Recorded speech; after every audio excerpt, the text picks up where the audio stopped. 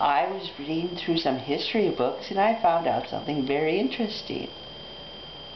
As clever and original as you think Fred Phelps is, there's something he does that didn't originate with him.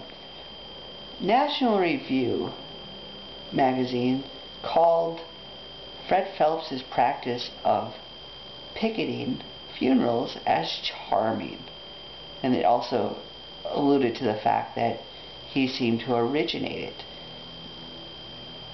It's up to you whether you consider it charming, but he didn't originate it. Who did?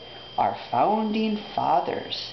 Yes, Benjamin Franklin, John Hancock, Thomas Paine, and Thomas Jefferson had a brigade of funeral picketing. What they did was little known to many of us. By day, they were doing the revolution.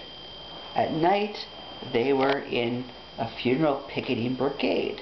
They would go to their fellow colonialist funerals and hold up signs that said things like, Providence abhors ye. They would also have signs that would say, Militiamen die, Providence laughs.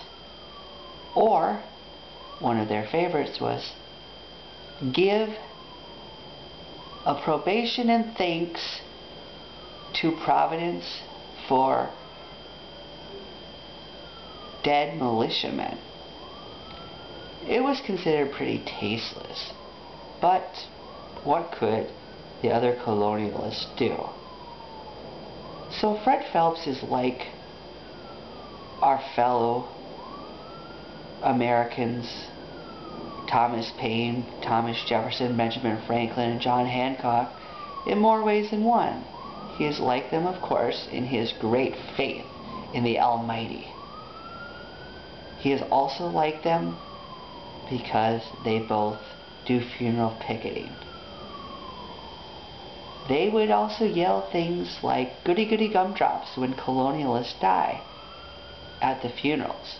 And they didn't have these rigid laws that said you have to stand this distance and that distance. They would go right up in the funeral home itself these things. They'd say, Hooray! Hallelujah! That person is dead. Thank you. Providence. Unfortunately for Fred Phelps, his Westboro Baptist Church is constrained by the limits of the law.